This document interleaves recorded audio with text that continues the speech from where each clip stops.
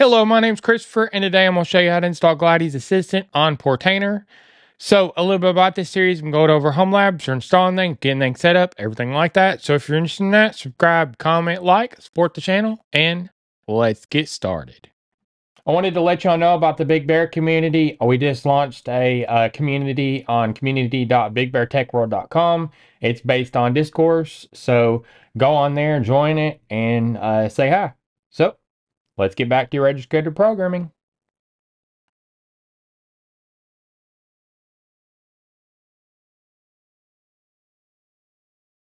So this is what will be installed today, Gladys Assistant on Portainer.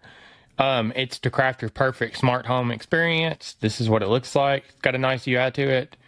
Um, some cool features, build great dashboards, and then automate your life with scenes.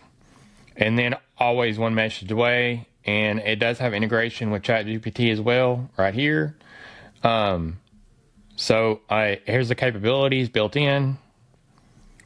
And then the most intuitive smart home software, pr- privacy friendly, uh, easy to use, clean UI, stable, fast, auto upgrades. So that's what we'll be installing today. So I'm going to start on a Big Bear Video Assets. There will be a link down in the YouTube description to get to this. I'm going to um, go, uh, go up here to the search, type Gladys, and then I'm going to click the Portainer version. And then now I'm going to go into Docker Compose. So version 3 of Docker Compose is being used, the, the file format. And then I'm going to set services. And then the first service underneath services is called Gladys. The image is coming off Docker Hub by default because there's no URL before this. This is the Docker image, and then this is the Docker image tag. Um, restart always means that if you uh, stop it or any other reason, then it'll always restart. Um, I'm going to give it privileged is true, and then network mode is ho- host. Um, this is required according to Gladys. So um, and container names are going to be called Big Bear Gladys. And then the C group is host. The environment variables are set. So the node env is production, the SQLite file pa- path right here. And this is a file path on the container side.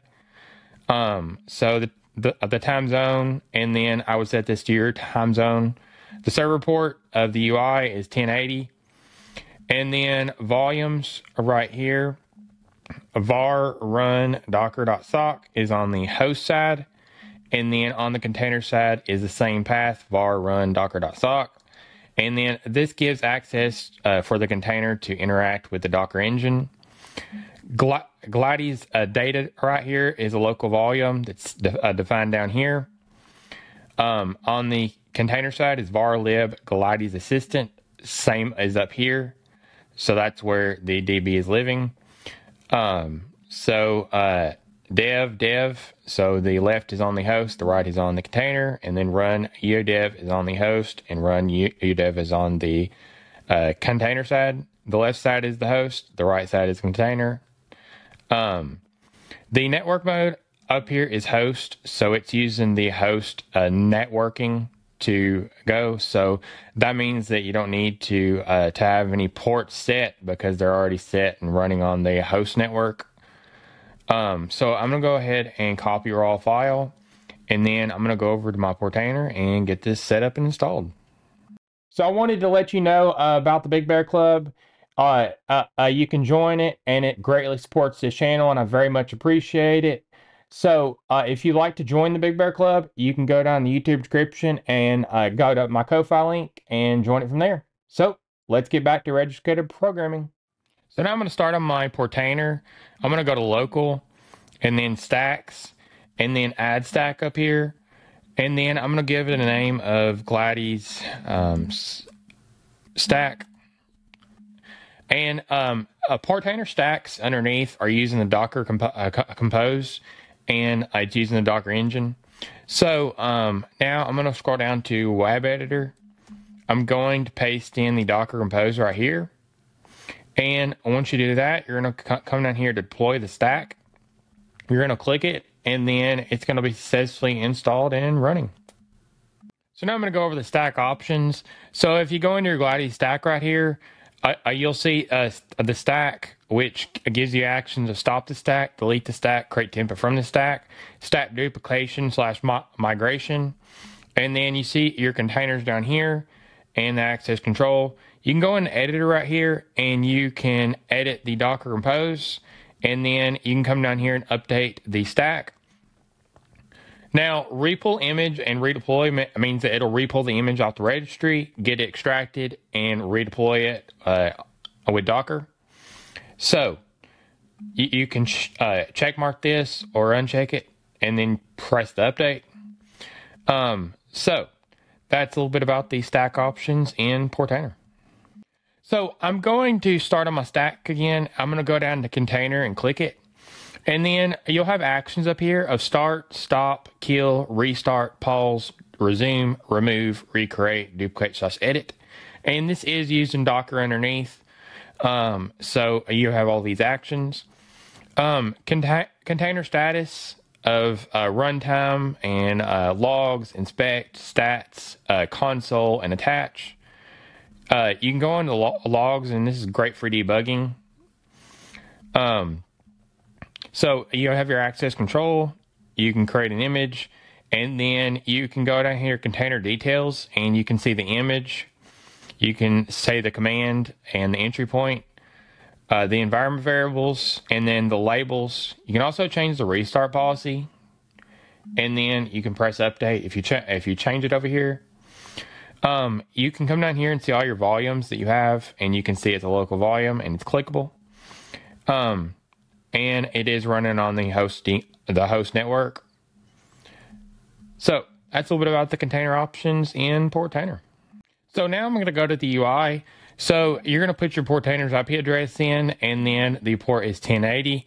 So I'm going to go to it, and now you get a welcome from Gladys, and then I'm going to create a local account. I'm going to put a first name and a last name, and an email, and then I'm going to put a password, and it does need to be a minimum of eight characters long. And then now I think I got everything, so I'm going to cr- create an account. So now the temperature unit, you can set to your temperature unit and your distance unit, and you can also uh, set the uh, the device state history, how long it's kept, and now you can put your home on the map. You can also name your home and then um, put a room in. So now we've named the, uh, the home and then we've put a room in. So I'm going to sa- save the house. And uh, now it's a thank you from the author. So I'm going to go, to the uh, dashboard.